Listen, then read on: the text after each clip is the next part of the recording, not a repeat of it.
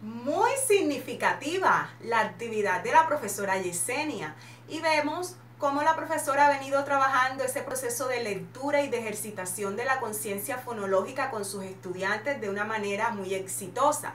Aquí es importante algo y es destacar el apoyo que ha sido la guía del docente, la guía del maestro para la profe Yesenia. Y es que precisamente esta guía del maestro nos trae unas orientaciones pedagógicas y una estructura metodológica muy pertinente para llevar a cabo con nuestros estudiantes en ese proceso de aprendizaje de la lectura.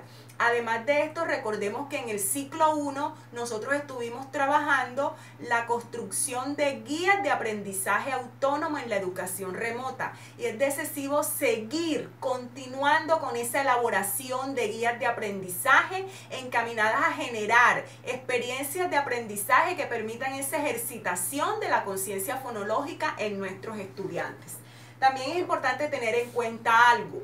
Cuando un niño tiene un buen nivel de conciencia fonológica, no va a cometer errores ni de omisiones, ni de sustituciones, ni de agregaciones al momento de leer.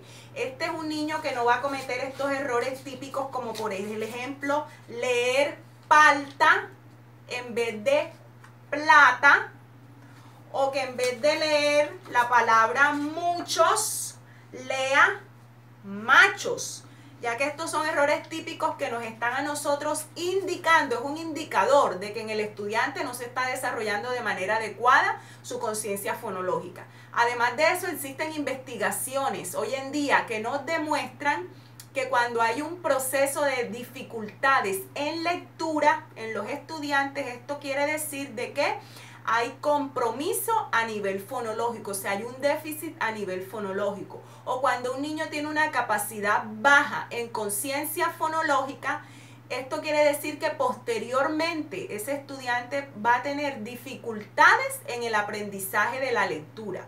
De allí la importancia de trabajar, de ejercitar la conciencia fonológica desde las etapas iniciales. ¿Por qué? Porque este es nuestro gran predictor que nos está garantizando un adecuado proceso de aprendizaje de esa lectura y escritura en nuestros estudiantes.